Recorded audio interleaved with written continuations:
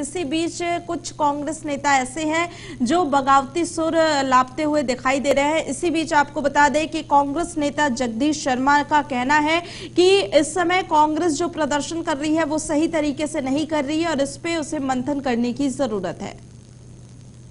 आज एक बार फिर से कांग्रेस दिल्ली की सड़कों पर है। सत्याग्रह 2.0 किया जा रहा है। आप मेरे पीछे देख सकते हैं। तमाम जितने भी कांग्रेस के वरिष्ठ और दिग्गज नेता है, वो आ चुके हैं।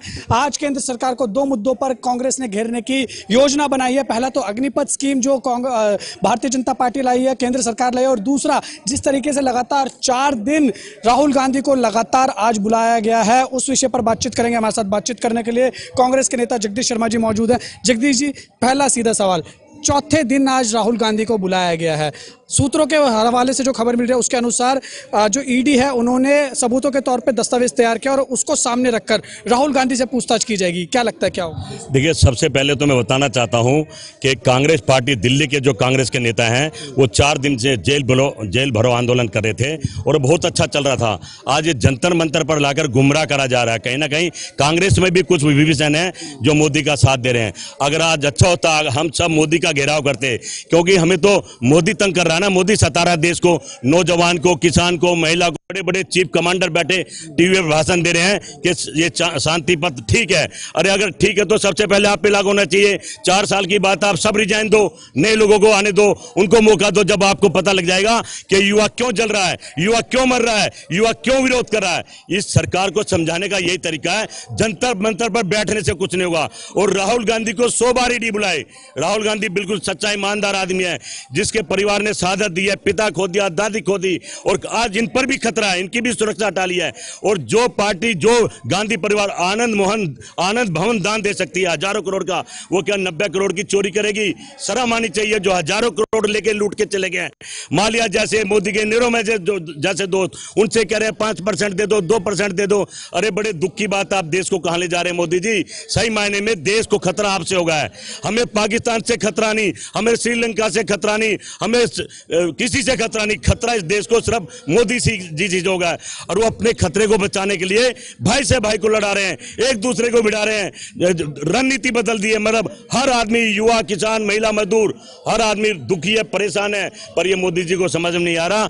अगर कांग्रेस पार्टी मोदी जी का घेराव करेगी तो उनको समझ में आएगा अन्यथा ये दुख देखने पड़ेंगे। जी लेकिन कल जब प्रेस कॉन्फ्रेंस हुई तीनों सेना के प्रमुख मौजूद थे रक्षा मंत्रालय की तरफ़ से लेफ्टिनेंट जनरल पुरी साहब ने कहा था कि दो टुक बात बोल दी कि उन्होंने कि ये जो योजना है अग्निपथ स्कीम ये वापस नहीं होने वाली। देखिये देश का युवा जितना भी जवान है जो देश के लिए शहादत देता है, इनको माफ़ नहीं करेगा। ये गद्दार के रूप में, अगर गद्दारी के रूप में, अगर ये अग्निपथ इतने अच्छा मैं कह रहा हूँ बार बार तो चार साल के लिए जितने भी फौज में सब रिटायर हो जाओ, नए युवा को चांस दो। कुर्सी नहीं छोड़ेंगे मोदी की तरह चिपट जाएँगे। ये भाषण देना जानते हैं गुमराह करना जानते हैं। वो नौजवान जो सुबह शाम वर्जिश करता दौड़ता है कि मैं देश के लिए जान दूँगा। क्या इस अग्निपथ से जान देगा? कभी युद्ध छिड़गा तो भाग लेगा उनके अफसरों को भी मारेगा। दो साल में नौकरी करके युद्ध में जाएगा तो उसे अपने बच्चे ज़रूर याद आएँगे अपना परिवार ज़रूर आएगा कहीं ना कहीं देशभक्ति की भावना उसमें नहीं गुजरी लेकिन कल संबित पात्रा की तरफ़ से भी प्रेस कॉन्फ्रेंस की गई और उसमें भी कांग्रेस के ऊपर निशाना साधा संबित। पात्रा तो चोर है यार डकैत है कहाँ का डॉक्टर है डॉक्टर बन के लूट रहा है देश को। पता नहीं कितने लाख रुपए तनख्वाह ले रहा है। इन चोरों तो, से तो देश को बचाना है। मैं तो कह दिया राहुल गांधी जी से अगर कांग्रेस वापिस आती है और देश बेचने वालों को देश के चोरों को आपने जेल में नहीं डाला तो जगदीश शर्मा कांग्रेस पार्टी छोड़ देगा उसे दिन ही। हमें बदले की भावना से काम नहीं करना पर इन्होंने माहौल खराब कर दिया भारत को बेच दिया। हम तो कह रहे हैं कि माहौल आपने खराब करा है जो जितने भी आ... विरोध कर रहे हैं स्टूडेंट्स उनका समर्थन आप कर रहे हैं और आग में घी डाल रहे हैं। भाई विरोध कर रहे हैं स्टूडेंट नौजवान।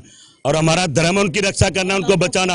हम तो यहाँ खड़े हैं माहौल क्या खराब किया हम तो पुलिस ने में बंद कर दिए थानों में बंद कर दिए हैं। माहौल तो बीजेपी खराब कर रही है अपने ये फौजी बड़े बड़े अफसरों को बिठाकर गुमराह कर रही है।